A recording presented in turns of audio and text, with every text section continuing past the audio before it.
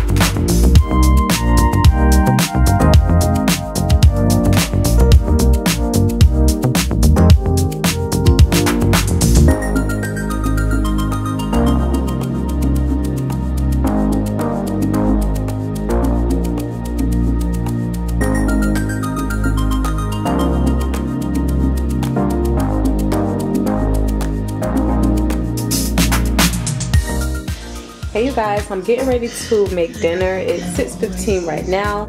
So I have the skirt steak basically laid out here on a cutting board so that I can season it up. Seasoning is gonna be really quick. It calls for olive oil. I don't have any, so I'm gonna just um, spritz the meat with some olive oil cooking spray. Um, and of course, salt and pepper. And then it also calls for ground cumin and chili powder. So I'm gonna season the meat, rub it onto on both sides of the meat, cook it whole, and then slice it up once it's finished cooking and it has sat to rest for um, 10 minutes or so. And then that's pretty much going to be the hardest part of this meal.